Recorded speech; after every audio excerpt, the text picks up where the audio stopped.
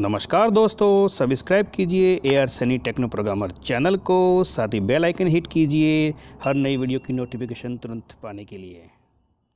नमस्कार दोस्तों, मैं आपका दोस्त ए आर सैनी फिर से स्वागत करता हूँ इस वीडियो सीरीज़ में जिसमें पढ़ रहे हैं ग्राफिक्स इन सी प्रोग्रामिंग को। अभी तक अपने इसे बेसिक पे काम किया है और कुछ अपने शेप भी डिज़ाइन किए हैं। जैसा कि अपन यहाँ पे देख रहे हैं, इन फ़ंक्शन पे अपने काम कर लिया है। इनिट ग्राफ जो ग्राफ को इनिशलाइज करता है ग्राफ को क्लोज करने के लिए क्लोज ग्राफ का यूज़ किया अपन ने, फिर अपन ने टेक्स्ट को प्रिंट कराया है। फिर अपने डायग्राम बनाए हैं लाइन ड्रॉ की रेक्टेंगल ड्रॉ किया सर्कल ड्रॉ किया और लास्ट वीडियो में अपन देखा था कि आर्क कोट कैसे ड्रॉ करते हैं। इस वीडियो में अपन पढ़ने वाले हैं कि how to draw the ellipse elliptical arc and filled ellipse मतलब मैं तीन ड्राइंग करने वाला हूँ कि इलिप्स को कैसे अपन ड्रॉ करेंगे। जो इलिप्टिकली आर्क होती है, जैसे लास्ट वीडियो में देखा आपने सर्कुलर आर्क को डिज़ाइन किया था ड्रॉ किया था। अभी अपन बात कर रहे हैं कि इलिप्टिकल आर्क बनानी है तो वो कैसे काम करेगी। और फिर लास्ट में अपन देखने वाले हैं कि जो फ़ील्ड इलिप्स होता है, यानी अभी तक जो भी आपने पैटर्न बनाया है, वो रेक्टेंगल बनाया होगा, आपने सर्कल बनाया है, वो उसके अंदर जो है, वो सिर्फ़ आउटलाइन बन के आती है, अंदर भरावा कुछ भी नहीं होता, यानी कि फ़ील्ड नहीं होता है। आज अपन बात करने वाले इस वीडियो में कि इलिप्स के साथ साथ में अपन फ़ील्ड इलिप्स को भी लेंगे, यानी कि फ़ील्ड इलिप्स कैसे डिज़ाइन करने वाले हैं तो उसका फ़ंक्शन आपके पास में अलग से होगा। इसको वो कैसे काम करता है, इसको भी आज पढ़ेंगे अपन। तो स्टार्ट करते हैं।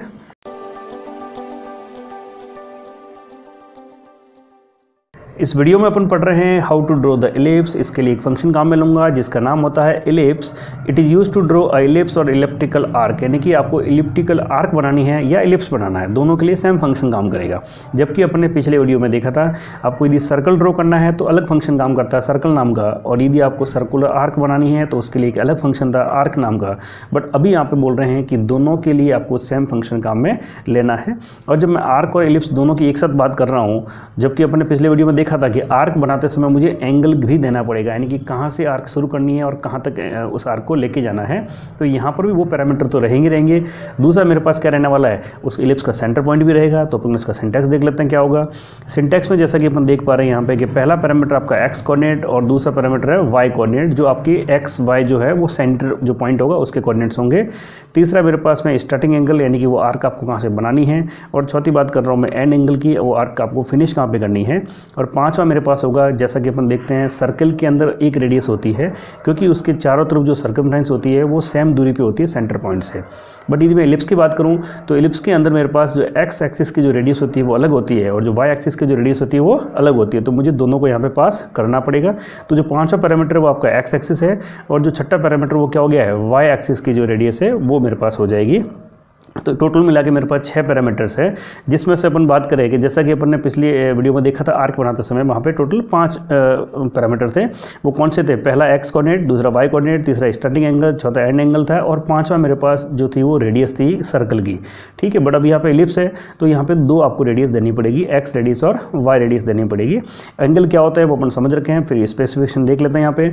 X and y are the coordinate of the centre of the ellipse ellipse के जो सेंटर होते हैं, ठीक है starting angle is the starting angle s angle and end angle is the ending angle of the ellipse वो जो arc बनेगी आपकी, वो कहाँ पे जाके बनेगी?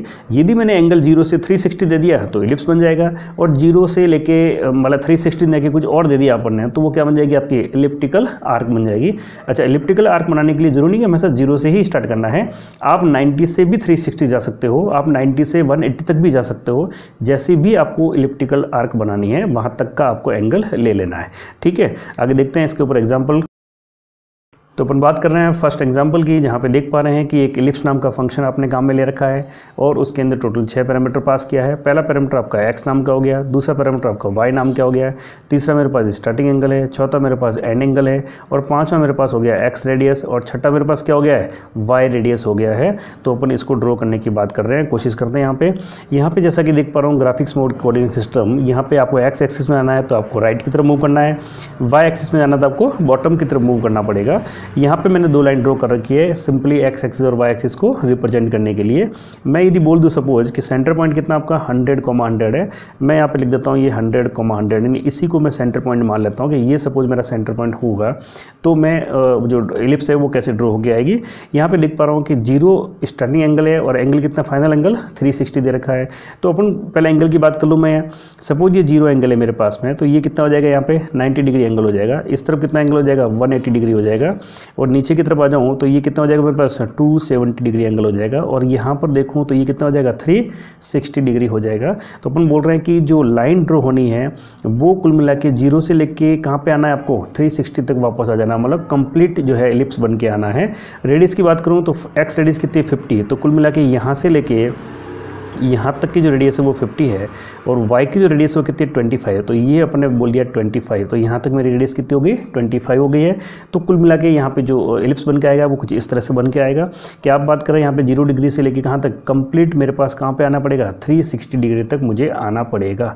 ठीक है? यदि मैं यहाँ पे कुछ कम कर दूँ, यानी कि एंगल को चेंज कर देता हूँ तो मेरे पास वो कंप्लीट एलिप्स नहीं बन के क्या बन जाएगी?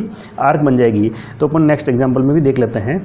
जैसा कि हम देख रहे हैं सेकंड एग्जांपल में, यहाँ पर भी वही छह पैरामीटर आपको दे रखे हैं। पहला एक्स है, फिर उसके बाद वाई दिया है अपने ये स्टार्टिंग एंगल ये एंड एंगल हो गया है, ये आपका एक्स की रेडियस है और ये वाई की रेडियस हो गई है। तो इसका मतलब क्या हुआ है? सेम आपको हंड्रेड कोमा हंड्रेड आपका सेंटर पॉइंट है और एक्स रेडियस कितनी? फिफ्टी जैसा कि पिछली स्लाइड में देखा अपन ने और आपका ट्वेंटी जो है वो वाई रेडियस है बट यहाँ पर एंगल को चेंज कर दिया। इसका मतलब क्या होगा कि आपका कंप्लीट इलिप्स बनने की बजाय जो आर्क की जो स्टार्टिंग है, वो नाइन्टी डिग्री से शुरू हो जाएगी और कहाँ पे एंड हो जाएगी? टू डिग्री पे एंड हो जाएगी। तो वो कैसे बन के आएगा, उसकी बात करूँ मैं यहाँ पे तो कुछ इस तरह से बन के आ जाएगा। यानी कि मेरा ये जो इलिप्स है, उसमें जो रेड रेड जो आपको लाइन शो हो रही है, ये आपको ड्रॉ होकर दिखा देगा। मतलब इधर वाला जो पार्ट है लाइट वाला पार्ट वो आपको शो नहीं करेगा। तो जो केवल रेड कलर है वही आपको ड्रॉ होकर बताएगा। यानी कि जो इलिप्टिकल आर्क है, वो आपके सामने आके शो हो जाएगी। क्योंकि यहाँ पे जो एंगल था, वो कितना था? 90 डिग्री था। और यहाँ पे जो एंगल था, वो कितना था? 180 डिग्री और यहाँ पे एंगल कितना हो गया? 270 तो ये क्या करेगा? 90 से लेके 270 तक की जो आर्क है केवल उसी को डिस्प्ले करा देगा। तो इसका मतलब क्या हुआ है? आपको इलिप्स बनाना है या इलिप्टिकल आर्क बनानी है। दोनों के लिए सेम फ़ंक्शन काम में लेना है बट उसके अंदर आपको चेंज करने पड़ेंगे एंगल्स को कि कौन सी और कहाँ से और कहाँ तक की मुझे आर्क को यूज़ करना है। तो नेक्स्ट फ़ंक्शन पे चलते हैं और ये आपको बताएगा कि फिल एलिप्स नाम का जो फ़ंक्शन होता है, वो आपको एलिप्स को फिल्ड करके देगा मतलब भर के देगा, किसी कलर से, वो आपकी चॉइस हो सकती है। हाँ बाय डिफ़ॉल्ट जो कलर रहेगा, वो रहेगा वाइट कलर क्योंकि वहाँ पे जो स्क्रीन आती है, वो कौन सी होती है? बाई डिफ़ॉल्ट ब्लैक कलर की स्क्रीन आती है, उस पर कलर जो भर के आएगा, वो कौन सा आएगा? वाइट कलर में आएगा। तो अपन उसको चेंज कर सकते हैं कलर को। वो अपन नेक्स्ट वीडियो में देखने वाले हैं कि how to change the drawing colour और आपका फ़ील्ड कलर और बैकग्राउंड कलर वो अपन नेक्स्ट वीडियो में बात करेंगे। बट अपन देख रहे हैं यहाँ पे कि फिल एलिप्स फ़ंक्शन कैसे वर्क करेगा? इसके टोटल जो है वो मेरे पास चार पैरामीटर होंगे। पहला पैरामीटर है यहाँ पे एक्स कोऑर्डिनेट और दूसरा है मेरे पास वाई कोऑर्डिनेट तीसरा हो गया एक्स रेडियस और चौथा क्या हो गया मेरे पास में? वाई रेडियस हो गया है। जैसा कि आप देख पा रहे हो यहाँ पे कि जो एलिप्स नाम का फ़ंक्शन था, उसमें टोटल छः पैरामीटर थे और फिल एलिप्स में जो है वो टोटल चार पैरामीटर ही है। ऐसा क्यों है?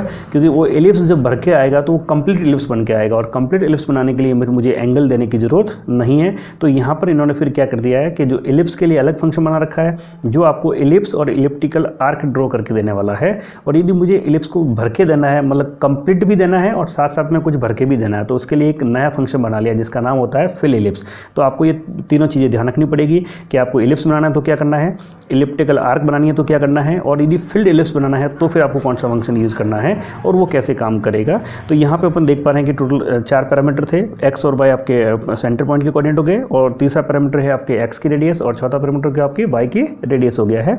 अपन बात कर लेते हैं यहाँ पे। देखो x and y are the coordinate of the centre of the ellipse and x radius and y radius parameter specify the x and y radius of the ellipse इसको अपन एग्ज़ाम्पल से भी समझ लेते हैं। एग्ज़ाम्पल जैसा कि देख पा रहा हूँ मैं यहाँ पे फिल इलिप्स नाम का फ़ंक्शन काम में ले रखा है, और टोटल चार पैरामीटर पास किया है। पहला पैरामीटर आपका एक्स हो गया, दूसरा वाई हो गया है, तीसरा मेरे पास एक्स की रेडियस और चौथा हो जाएगा मेरे पास वाई एक्सिस की रेडियस क्या होगी। तो ये बिल्कुल सिंपल सा फ़ंक्शन है, इसमें आपको कोई एंगल पास करना नहीं है, कहाँ से, कहाँ तक कुछ भी पास नहीं करना है, क्योंकि ये मुझे कंप्लीट इलिप्स बना के ही देगा। तो मैं बात करूँ यहाँ पे कि कुछ इस तरह से इलिप्स बन के आ जाएगा। हाँ यहाँ पर जो कलर मैंने फिल कर रखा है, वो कुछ डार्क वो लाइट ब्लू कर रखा है, लेकिन जब आपके सामने जो ब्लैक स्क्रीन पर डिस्प्ले होकर बाई डिफ़ॉल्ट आएगा, वो वाइट कलर में भरा हुआ आएगा, कलर चेंज अपन कर सकते हैं, जैसा कि मैंने पहले कहा है आपको। हाँ यहाँ पे मैं बताऊँ एक बात और, कि यहाँ पे जो 50 और 25 दिया है एक्स रेडियस कितनी दिया आपको? फिफ्टी, और वाई रेडियस कितनी ट्वेंटी मतलब एक्स रेडियस जो है वो वाई रेडियस से बड़ी है।